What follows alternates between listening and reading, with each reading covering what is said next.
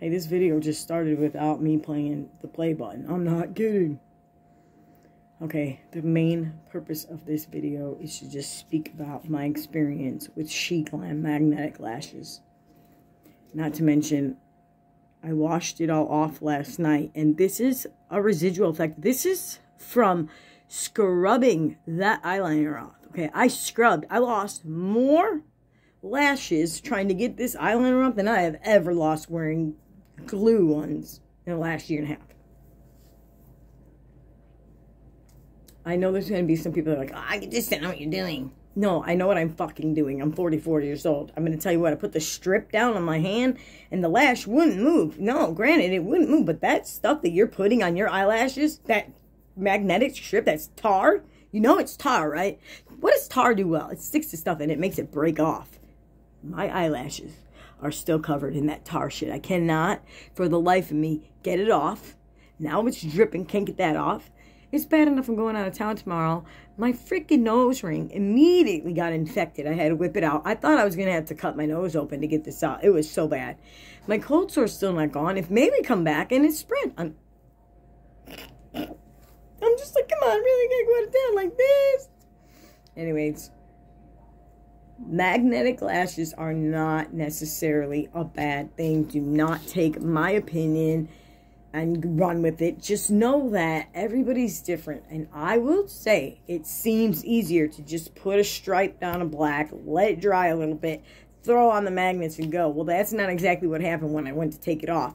The lash wouldn't even come off my eye because the tar liner was so thick on my eyelash. It was bad. It was bad altogether. Anybody interested in three pack of She Glam magnetic lashes, just contact me. I paid for them. I only cut one pair. You can have the other two pairs. Just let me know. I'm not doing magnetic again. It's not going to happen. I never once with the glue lost as many lashes as I've lost with this magnetic eyeliner. And I'm afraid to put on mascara like tomorrow when I get ready to travel because I have no idea what that stuff did to my lashes, man. I feel like bad. It. I mean, I used some makeup remover. My God. Then I wake up today and it's like literally like down here. That's not me. That's makeup. Your makeup shouldn't stay like that. Not if you're cleaning it. Okay. So, if you want the she glams, you got to let me know. If you don't want them, you don't want them. I get it there may be a better brand out there, but I'm not gonna lie. If the magnetic strip is going to be liquid, it's gonna end up having to be tacky like tar, and it's also gonna cause me a problem when I'm trying to do makeup and I have a tremor. One of the main reasons I never tried the magnetic ones, well, I did try them a while back, but I didn't stick with them, was because of why did I? Oh, I only had three magnet ones, and they didn't stick. But I'll tell you what, I'm not putting that black stuff on my eyes again. That that's bad, man. That is bad for your eyelashes. So I don't know who invented magnetics, but you tried. Good shot. You tried. You mark up your prices, you put some magnets on, and you give somebody a stain like tar to put on their eyes. Smart. Smart. I'll go right back to glue. You want to know what I'm going to go back to? I'm going to go back to last year. I'm just going to use primer and my own mascara. Because I'm getting tired. You know what I did? Here's why. All last year, I got into lashes. Why did I get into lashes last year and the year before? 2019 and 2020. No, 2020 and 2021, I got into lashes. Why? Boredom. We were all confined.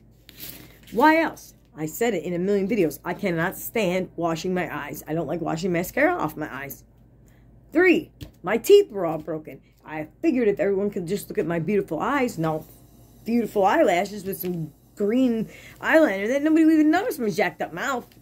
That was probably not the third reason. That was probably the main reason.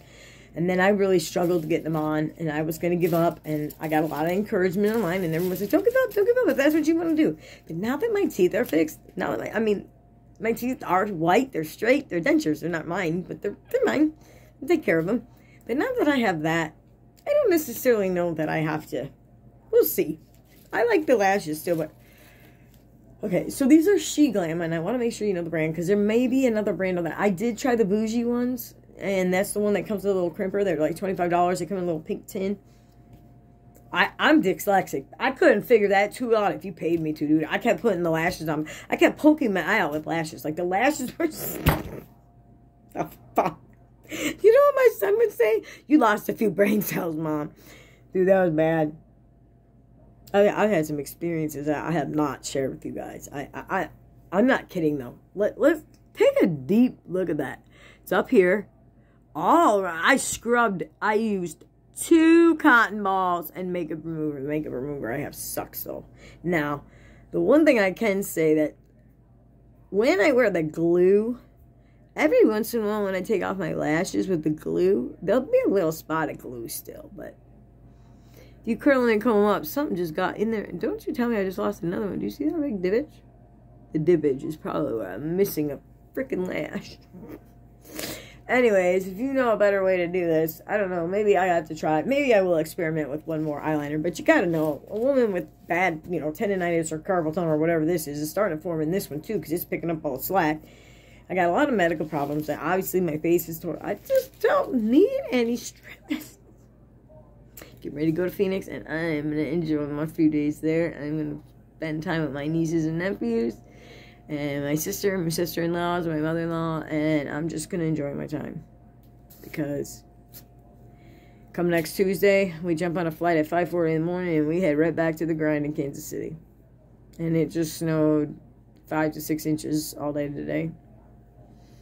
Thank God we're not driving. The last time, the last time there snowed right before we drove, we got stuck in Iowa ice. You know, I don't know how delayed the planes will be. We have to go to Detroit. Detroit yeah, we're gonna go back into trouble. When I traveled for my grandpa, I did have to go to Tampa and then back to Milwaukee. It's weird as hell. Um, we have to go to Denver. Tomorrow's our layover. We'll be there for about an hour. See, I don't know what the weather's been like in Denver, so I'm not really sure what to expect. Man, my face is really starting to piss me off. It looks like shit. That's what happens when you wear crap. This is my fault. I should have never put that nose ring in. It looked dirty, and I put it in anyways, and it immediately got infected. It was so bad, it swelled over. It swelled. It only was in for less than 24 hours. It swelled over the ring. I had to literally pry this thing out of my nose. Oh, that hurt. I was crying. Tears were just flying out of that eye. Then I'm over here in the bathroom going, what the fuck? Why is this not gone? I've been putting, I put a whole thing about Breva on it because of where it's at with these teeth going in and out and rubbing on cold sores, how the hell am I ever going to get rid of a cold sore if it gets on my dentures? Do you know what I'm saying?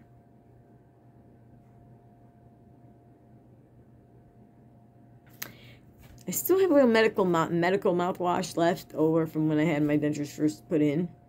I'm gonna go put some of that on it. I remember that always really dried everything up. Now, concealer's a great thing, and so is makeup. So, I mean, I'm not worried that I'm going to look like shit on vacation because I really don't care. They don't care if I look like shit or look good anyways. We're all just wanting to be together. Danny wants to help his mom with his house, her house so she can sell it, get on with life. You know what I'm saying? So, we're going tomorrow, and it is not I mean, it's February. It's not going to be like 80, 90 degrees or not. On Thanksgiving when we were there, it was warm. It was like 85. It was hot during the day. The hottest it's supposed to get when we're there is 74 during the day. So, a mediocre trip. I didn't bring, I don't even think that I brought one pair of shorts. I have mostly leggings and jeans and stuff like that. I have two pairs of slacks, two pairs of leggings, and two pairs of jeans. Mm-hmm. And maybe one pair of shorts. No dresses. I did bring my swimsuit in case of pools.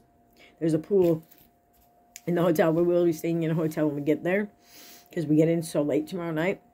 And then um, my husband's father's going to pick us up on Friday, and I don't know where we're going to go from there. But I don't think my husband's going to start working on his mom's house till the weekend because the weather. will be a little bit warmer in the morning. That and that's just how it goes. I really feel like I need to put on makeup or something. And I'm also wondering too if maybe okay, what I was trying to do is wait for that cold sore to go away to change out my sponge. Okay. That's what you would normally typically do. I didn't do that yet because I noticed it wasn't gone. I didn't know it was going to pop back up and bring the second one with. I'll tell you what. I'll just keep cleaning the sponge, keep patting on my color corrector. and I'll just keep cleaning the sponge every time I use it. I don't know what else to do buy another sponge. I mean, I have other sponges. I just don't like the waste. This thing isn't even nicked. It doesn't have one little nick in it.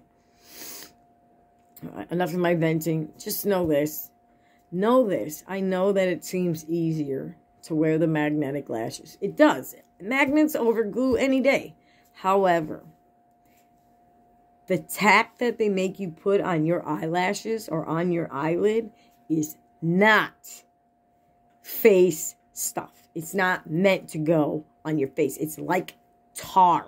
It's meant to go on the street. Okay? I'm not. I'm gonna try one other, one other brand of that. I think Kiss sells some magnetic, and if it's if it's anything like that, tacky, then again. So again, contact me, see how I feel when I get back from vacation about somebody taking on my magnetic lashes. I mean, you wouldn't take the pair that I already wore, but there's two other pair. I'm willing to give them to somebody. I'm serious. I'd love to take money for them, but no, I'm just give them away. I cannot charge for them because my eyes are just wrecked. And I only wore them for a few hours. Can you imagine if you had them on even longer? Oh, that was a nightmare. It's not that the magnets weren't easy to use. They were easy. Tink, tink, tink. It was the amount of black that I had to use to get them to stay down never came out. Dripped somehow through probably just me having water come out of my eyes watching TV last night. This is no game changer. I'm not. Everyone was like, it's a game changer. They're magnetic. It's a game changer. I'm happy I tried it. Okay, always try it before. You should probably do. If you're gonna try something and buy something, like say, if you're gonna buy something, try it and show the people in the world what you're finding out. Everyone's gonna get a different outcome, of course, but if the majority of the people are getting the same outcome, is it really worth the trial? All right, you go in peace.